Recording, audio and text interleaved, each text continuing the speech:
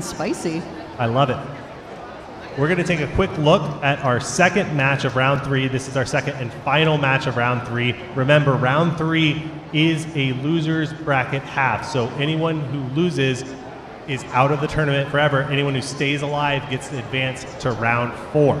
So we just saw it was only the match before last that this alliance number two was playing in it. Adrian, tell us about their performance there. Well, everything went wrong for Alliance number two in their last match. Um, you know, one of their top scorers couldn't couldn't score for most of the match. They were down by so many points, almost 30 seconds in, that it was almost impossible for them to be able to come back. After that match, we saw probably 15 team members from 254 standing around their robot, fixing different aspects of it, and then doing all the tests. So I think that they're going to come back into this match at full force. And them in 2910, we already know can put up close to 200 points. Um, they've been playing 3175 as their third pick. They've been playing ball defense. They have. Um, been trying to play man defense, um, and if everything goes right for this alliance, I would expect them to have a much better outing this time. On the other side of the playing field for match 10 is going to be our number five, five seeded alliance. Steve, what do you know about this alliance? Well, their captains, 44.99, the Highlanders, have been uh, great all tournament at those shots from the launch pad, so it's very difficult to defend them. Their partners, 2046 Bare Metal, 6036 Peninsula Robotics, and 2486 uh, Coconuts, all able to shoot from different positions on the field. And we have seen some great climbing from 2046 and uh, 4499 so far. So they are uh, able to keep up and then uh, rely on their really quick reversal climb from that first pick that they have. This is really going to be a tight match. It can come down to whose robots are operating most effectively, but strategically, what do you think the key to victory is for either one of these alliances, Adrian? I mean, for the number, we already know that the number two alliance has a ton of firepower. But again, and like I've been saying all weekend, 4499 is capable of scoring just as much as either of those robots if they are on their game. Um, so I think being able to slow down one of the robots on either side um, is really going to be the difference maker in this match. Of course, good autonomous modes make a big difference as well. We saw some experimentation in the last match that the number two seed alliance played in. Maybe they've got that adjusted. Maybe they revert back to what we saw in the first time. We're only moments away from finding out how it's going to shake out. Up next, we're going to send it down to the field so we can meet the teams and get excited. Let's go, Tom. Thank you so much, Mason. All right, looks like we have a green field, so we'll get this underway. Red Alliance, we're starting off Team 254. From San Jose, it's the Cheesy Their partners 3175. From Grosse Pointe Woods, Michigan, they're sponsored by 100,000 food places. It's Night Vision. Rounding it out, we have 2910. From Bothell, Washington, it's Jack in the Bot. We also have on the Red Alliance team 649. From Saratoga, it's MSET Fish. Blue Alliance starting off with 6036. From Palo Alto, it's Peninsula Robotics. Their partners 4499. From Fort Collins, Colorado, it's the Highlanders. We also have 2046. From Maple Valley, Washington, it's Bare Metal. And the fourth robot here, 2486. From Flagstaff, Arizona, it's the Coconuts.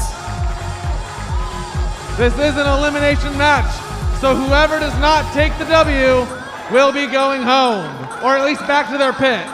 So it's a very important match. It's gonna be exciting to see who takes it home. We have a thumbs up on the field. Drivers behind the lines. Three, two, one, go! Here we go. Playoff match number 10. Winner moves on, loser is going home. Right out of the bat in autonomous mode, we have a deluge of cargo up into the upper hub. 2910 coming back for a few more. They get 1 2 in. Bare metal with one at the end. Out of autonomous mode. Blue Alliance taking a slight lead, 46 to 42. And we are in to the teleoperated portion of this match. Already out of the bat, it looks like 254 has fixed any issue they may have had in their last match. They are rocking and rolling on the field, putting red cargo up. On the blue side of the field, we have 44.99 looking to grab some blue cargo, but they are being absolutely harassed by Night Vision 3175. Night Vision was on the field in Einstein Finals, giving them the business, and they're doing the same here at Chezy Champs. Right now on the blue side of the field, we have Peninsula Robotics 6036 contributing some blue balls up high. And their partners, Bare Metal, trying to do the same. Meanwhile, on the red side of the field, we have Team 2910. That's Jack in the Bot from Washington. They are uncontested at this point, undefended. They are popping multiple cargo up into the high goal. You, they are so short, you lose them on the field, and before you know it, there's two more balls going up and in just like that. Night Vision still playing defense on the Highlanders. It looks like they're having a, doing a good job at keeping away from some of that blue cargo. Right now, Night Vision tussling up with 44.99. They have to give him that position on the on the hanger, though. That is a protected position. We've got 45 seconds left in this match, and Red Alliance has pulled out to a 20-point lead. So this is still close enough to be decided on the climbs.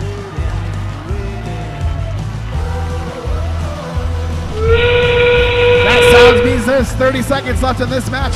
Normally you'd see teams moving into the hanger zone, but this deep into the playoffs, teams are trying to get as many points as they can into the high hub. We're going to see some of these teams shooting till the end.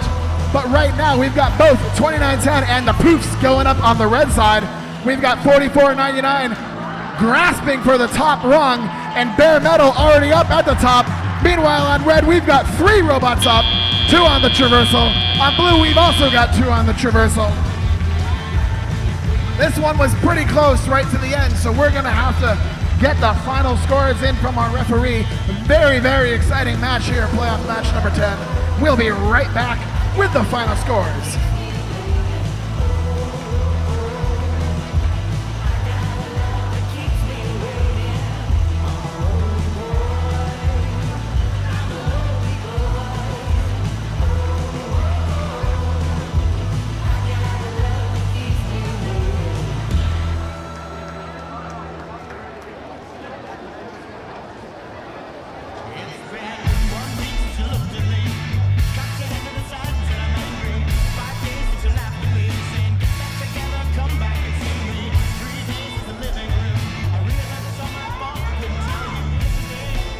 All right, we've got a score going up on the big board, and moving on is going to be the Red Alliance with a score of 188 to 162.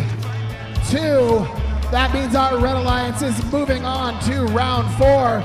But put your hands together for the number five seeded alliance teams 44.99, teams 2046, 6036, and 2486.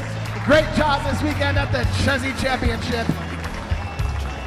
RSN, how's it going over there?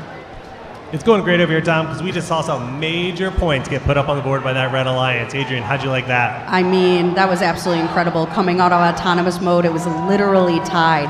Um, but we saw 254 back into their prime shooting mode. And even with um, Defender, they sent a Defender onto the Blue Alliance. And even with that, they were able to pull away on the Blue Alliance, who was running a, th- a three robot offensive strategy. It didn't even look like the defense of 3175 was slowing down 4499 that much. But Red just has so much firepower with 2910 and 254 that it was just overcomable for the Blue Alliance in the end. the Blue Alliance, with their triple offense strategy, really ran into an issue where uh, 254 and 2910 are so good at cycling.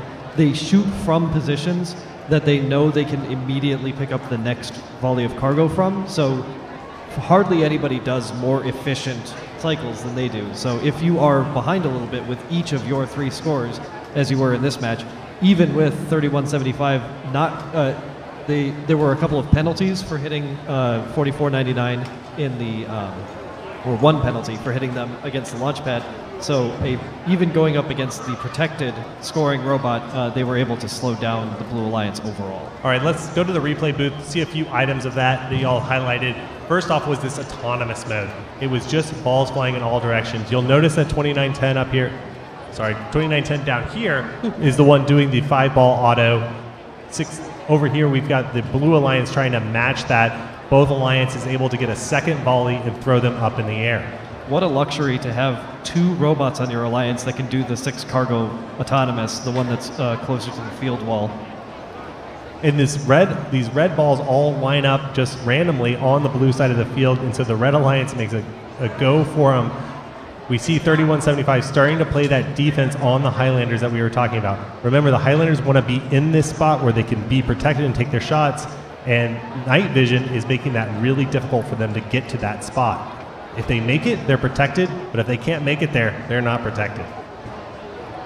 Yeah, and if you look right now, the Red Alliance is really starting to pull away because Jack and the Bot and the Cheesy Poofs are basically just running the field. They have cargo basically evenly split between the two sides of the field, so their robots have almost split apart, and they are just. I mean, as soo- again, as soon as they pick up a ball off the floor, it is inside the hub.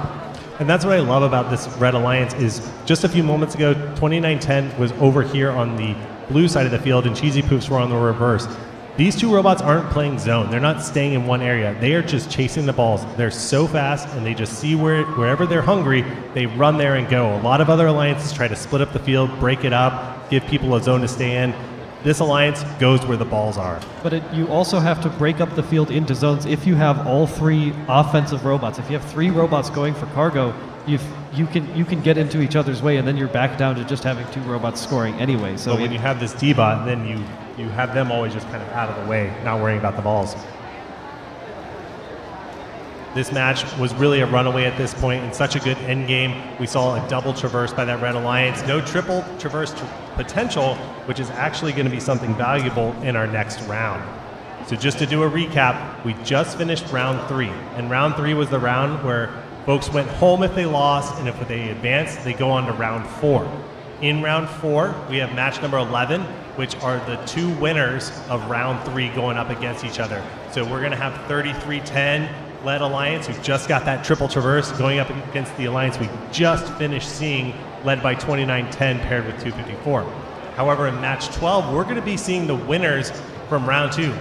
That's, this Alliance has not had to play in round three, so they are fresh, they are cooled off. Adrian, what kind of advantage does that give to an Alliance to have that much time? Well, having the ability to have extra time to prep your robots, change your batteries, double check things is really, really good. But sometimes when you have a break that long, you can almost lose the momentum. You know, these two teams that are playing in this first match, they both come off fresh wins. They're ready to go. Um, they're excited, um, and they have all the adrenaline pumping. And so, um, you know, sometimes you can get caught sleeping a little bit when you have a little bit too much time between matches. And sometimes you spin out and you start thinking, oh, well, if they do this and then they do this, should we do this? And you're, you're several iterations down into a strategy when try, you can get stuck trying to solve every little problem that there can be. You just have too much time to think sometimes.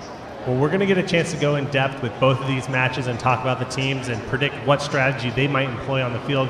But before that, we're going to send it back down to our award ceremony as we continue giving out awards for the Chezy Champs 2022 event. Take it away, Field.